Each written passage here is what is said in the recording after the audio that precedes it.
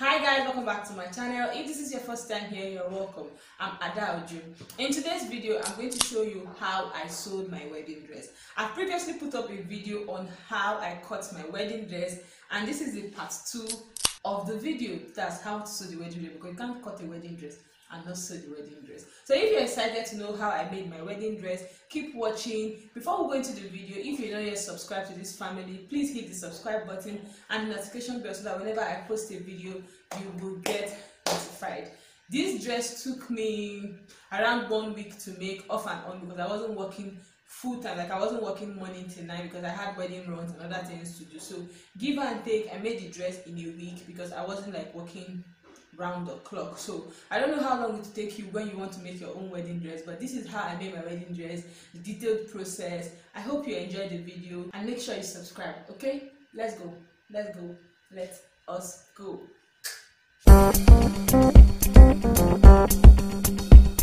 So I'm starting with my front part and these are the sides, that's the center. I'm just going to join the sides to the center. This is the back part and just like I did for the front, I will join them together. That's the zip allowance, around one inch zip allowance. So I've taken it over to my sewing machine. I've done the padding. I've joined the center to the sides. I did same for the lining.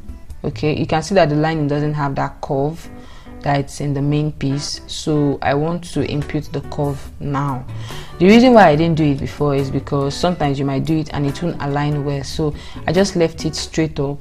Now I've secured a pin. You can see from the armhole to the around the shoulder lines the neckline. So I'm just going to take it over to my sewing machine and I'm going to you know the way you do when you want to um, join your facing to the neckline of your bodice? That is what I'm doing here. So I'm just going to join the lining to the main piece more like I'm turning over the neckline. And after that I'm going to use my scissors and I'm just going to cut the outline of the neck. Is that simple. It's safer to do it this way in my opinion because you won't have to face with whether the darts not aligning or the shoulder points not aligning because you know you've just tackled it from here. So this is what we have here.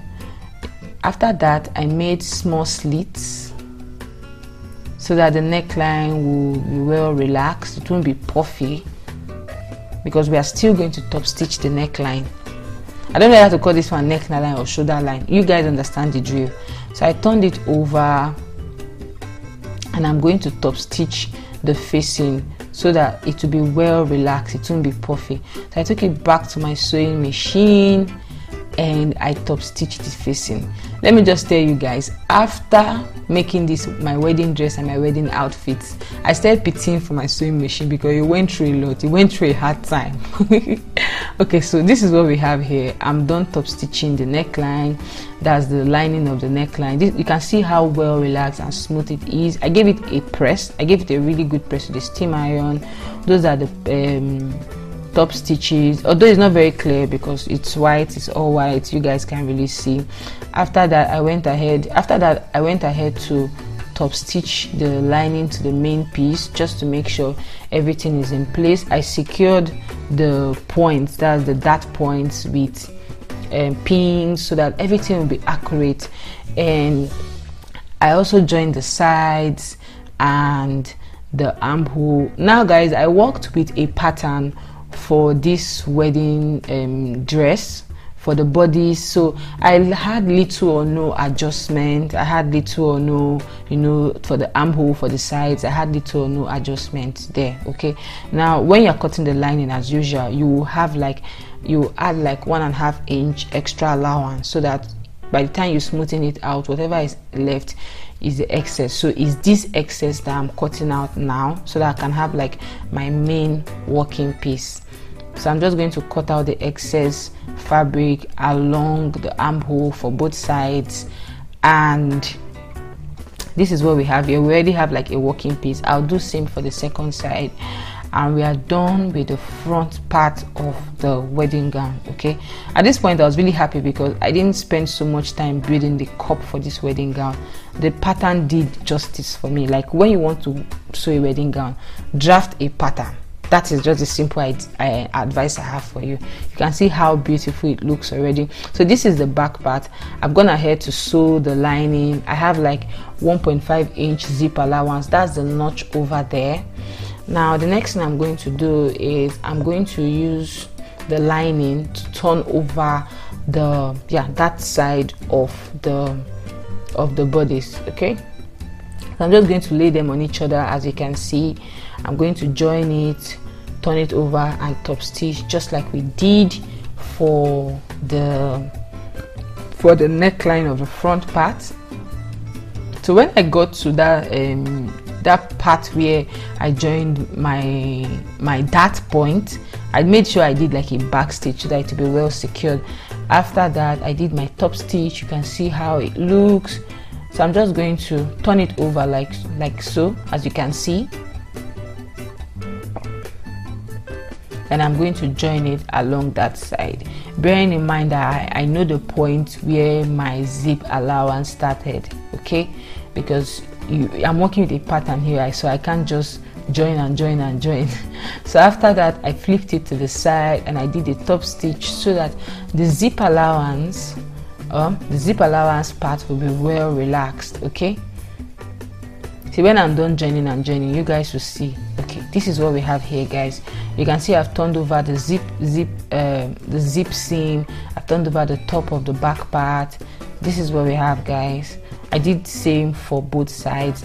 Next thing i'm going to do now is i'm going to top stitch the armhole. I'm going to top stitch the bottom. I'm going to seal the sides as well. So I've taken it over to my sewing machine and I've done all the sealing for the sides for the armhole now I'm just going to cut out the excess fabric. The excess fabric that I don't need I'm just going to cut it out.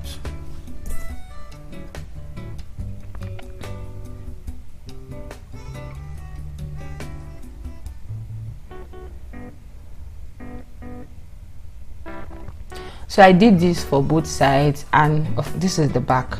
We already have like the back part already prepped. So next thing i just did here was i aligned both sides on each other and i joined my zip allowance. So like i said i took um, cognizance of the measurement i used to join the seam of the of the zip allowance and whatever was left was what i used to um, join what you guys can see. I don't know i can explain this thing again but you guys can see what i'm doing. So after that i just aligned the the back part and the front part together. I made sure the center of the front was aligned to like the middle of the sides. And no that's not what i did. I first of all checked if they both aligned well. Then i took the back part out and I marked out my bust, my under bust and my waist measurement as you guys can see I just marked them on both sides. Next thing I did now I brought back the center part and I secured the center of I just secured them together. I made sure the center of the front part was in the center of the back part and I'm with the aid of my markings at the back I joined my bodice okay? Very simple. You have seen me do this more than 100 times on this channel okay so that's what i did here guys. I did this for both sides of the bodice so after that i'm done with the front part guys. It was very simple to build the top part of this wedding dress. I'm just I, what i next thing i did was i cut out cut out the excess. Now so after cutting the excess fabric from the sides of the blouse the next thing i'm going to do is i'm going to move move over to the flared and I'm going to join the zip allowance the, I'm going to join the back this is the back part. I'm going to join it at the zip allowance okay? This is the back part and I joined it at the zip allowance. And this is what we have here this is what the back part of the flared looks like. Then I flipped it over to the front side and this is the front part of the flared what I did here was I aligned the front part of the flared to the back part of the flared with the aid of the notches I made. I made sure the sides were well well aligned. Let me not bite my tongue. I also made sure the waistline was well aligned. Then I went ahead to mark my waist and I just joined the sides of the flared very simple very easy. Guys hmm. a lot of drama happened on this wedding dress. I can't wait to even give you guys a gist. Just know that i cried. Another tailor nearly spoiled this gown for me. But let's forget that one. I'll tell you guys a story later. Now let's move over to the lining. You guys know that we have two parts two types of lining or we use two lining for this gown so this is the first lining and i'm just going to join the sides of the lining together. That means i will join i will not join the zip allowance of the lining. Instead i will join the sides of the front part and the back part together leaving the zip allowance open. Do you guys understand?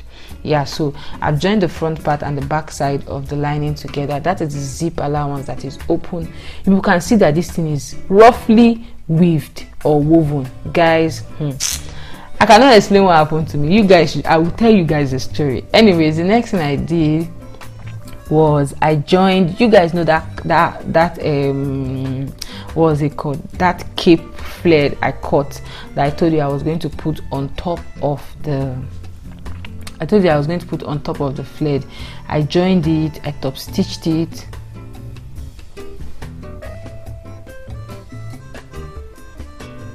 Then I went ahead to sew both sides, like seal the both sides of the cape. Is it cape or short flared? You guys will see what I'm talking about in a minute. If you missed the cutting video, like the video on how I cut this wedding gown, you might be a little lost here. But I cut like mini mini flares that I was going to attach to the waistline of the gown, and that is what I'm joining right now. I'm turning over and top stitching and locking the sides. This is what we have here. This is what I've been trying to explain to you guys. so the next thing I'm going to do here, guys, is this is my organza okay? This is an organza. It's just a straight organza and i cut like i think 1.5 and uh, one and a half yards on both sides and i'm just going to gather it okay? I'm just going to gather it like do some gathering. And i use my gather's foot presser and i just gather the organza together i did this for both pieces I folded the organza into two, then I gathered it. So this is what we have here. Okay, so this is one part. This is second part for both sides of the gown. So the next thing I'm going to do here, guys, is I'm going to pin, or I pinned the organza to the flared. Okay, I secured the organza to the flared with some office pins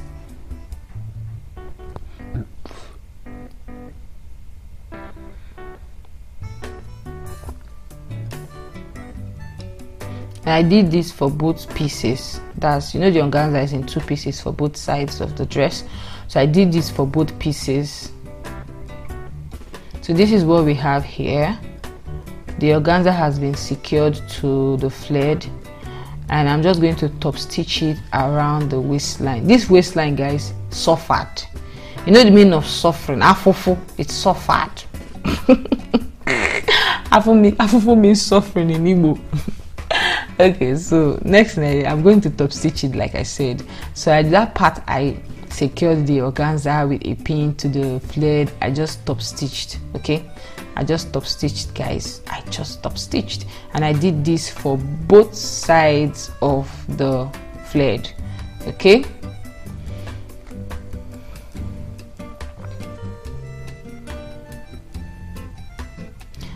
after top stitching you can see that the gown is beginning to take shape it's beginning to take form.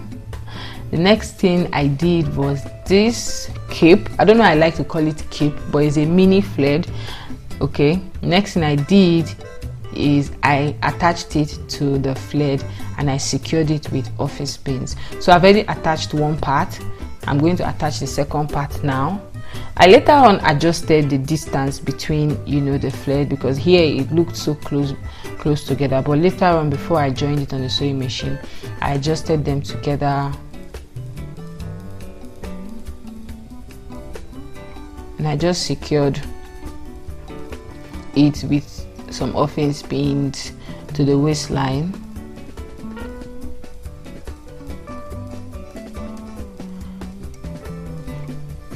so after securing it with some office pins to the waistline next thing i did was that lining okay? I just aligned aligned the lining. You guys remember that the zip allowance is open. I did join it together. So i just secured the lining as well to the waistline okay? See the heavy duty stitching that this my sewing machine did i really underrated my sewing machine but it did a lot. So i'm just going to join it along the waistline okay you guys can see I've secured a lot of securing. So I just top stitch top stitch top stitch I just joined everything I kept joining and joining and joining and joining till my thread finished and I changed the thread and I continued joining. You guys know how we roll, okay? so after that, the next thing I did was the sides. You guys remember that this, the, the zip allowance was open. So I just joined the open zip allowance to the zip allowance of the flared, okay? You see what I mean in a bit. I just top stitched it to the zip allowance of the flared. You guys remember that I left it open, okay?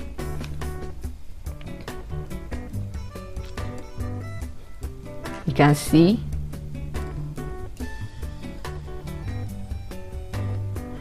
Okay so this is the second lining. Remember that this dress has two lining. And this lining will bear the bouncer. This thing people call bouncer the basket. Is just going to bear the hard net of this is this will be the carrier of the hard net for the gown. This is what will make the gown stand.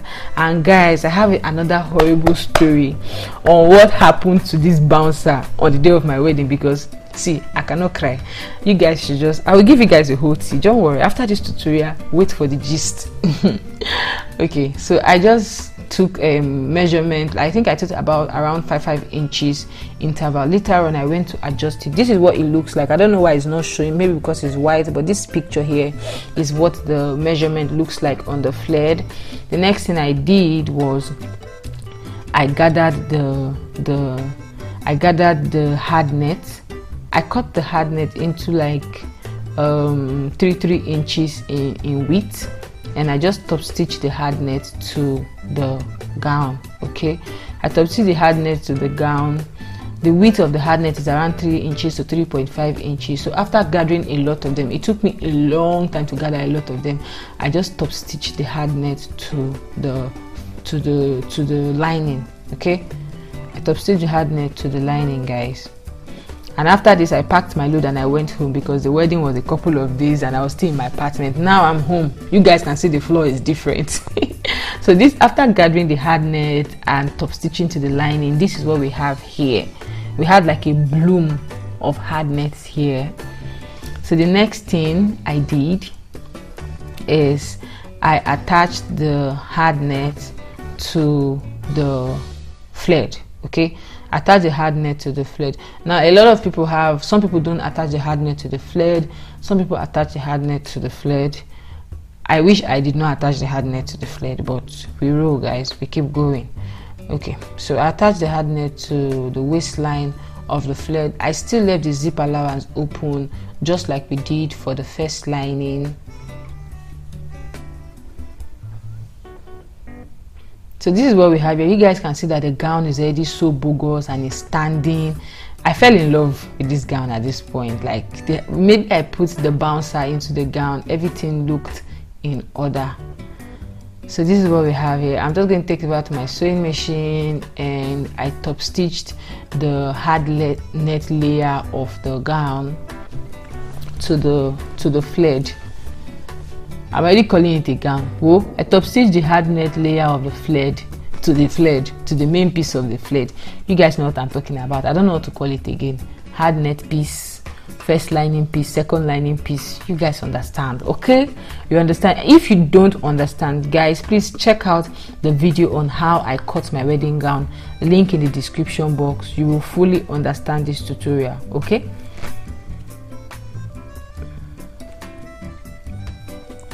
So after top stitching the the net to the to the to the flared the main piece of the flared just like we did for the other lining i just aligned the the seam of the hard net to the seam of the main flared and i secured with a pin and i'm just going to join that part together okay?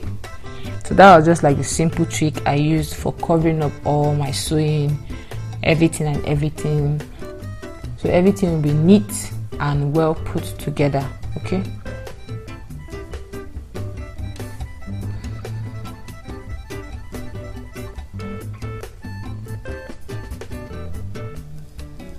Then i took it back to my sewing machine. Like i said you see how i joined it in a bit. This is what i did for the front part of the for the first lining. This is second lining and i am doing same thing. So this is just the easy way i joined it to the wedding gown. And when i'm done i know you'll be like oh and won't the seam be rough? Yes it will be rough but what you do is you just weave it and it will be neat again. So after joining the only thing that was left was to join my blouse part of the gown to the lower part of the gown. It's not yet a gown but when you join it okay it becomes a gown. You guys understand. So i just secured the blouse part to the skirt part with the office pin. I made sure that the center aligned with the center the center of the front part aligned with the center of the back part. Center of the front part aligned with the center of the front mm, what am i saying? Let me not bite my tongue. I made sure that the center of the front part of the gown aligned with the center of the front part of the flared. See, guys, you understand? Look at what I'm doing. I don't know what I'm saying again. Maybe you sleep. Anyways, those are my siblings passing by. Like I said, I went back home to complete the gown because the wedding was in a couple of days. I think I finished my dress uh, three days to the wedding. Yeah, so okay, guys. After securing pin, I just joined the blouse to the flared and this is what we have here. At this point joining the zip was an uphill task because the the hard net was pushing the gown the blouse out pushing the flared out but i still found my way around to attach the zip. So this is the zip i bought. I showed you guys in the video of things i bought to make my wedding gown. Check the link in the description box. That video is there. And i just attached the zip to the gown so I changed my um, my foot presser to the zipper foot presser, and it was very very easy. I think I don't. I spent it as in less time attaching the zip. I thought I was going to spend more time attaching the zip, but I ended up not spending a lot of time. I was so grateful for this because you guys know that zip it can keep you there for three hours. You will not believe. Okay, so I attached the zip to the gown. I did this for both sides